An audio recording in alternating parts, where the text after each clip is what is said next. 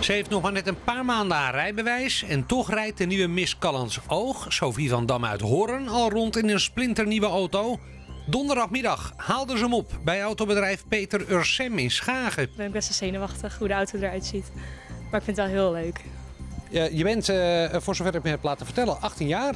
Al in bezit van een rijbewijs. Zeker. Wel nog maar net, sinds 3 juli. Maar ik heb hem gehaald. Hoe was het om mee te doen met de Miss Callans Oogverkiezing? Echt superleuk. De hele ervaring, de hele organisatie was super.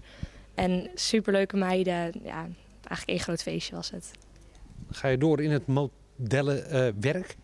Modellenwerk niet, maar ik ben gisteren gevraagd voor Miss Noord-Holland en Miss Nederland. Dus daar ga ik zeker aan meedoen.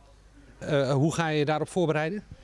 Sporten, denk ik. En wat meer op hakken lopen, aangezien ik dat niet zoveel doe. Eh, dit is één van de prijzen. Je hebt nog meer gewonnen hè, eh, bij de Miss nog een minuut gratis winkelen bij de Albert Heijn in Callenshoog. En wanneer dat gaat gebeuren, weet ik nog niet. Daar moet nog geregeld worden. Eh, nu eerst maar is deze hoofdprijs onthullen. Hè? Dat is wel een momentje, denk ik. Ja, zeker. Ik ben echt heel benieuwd. Nou, succes. Dank u wel.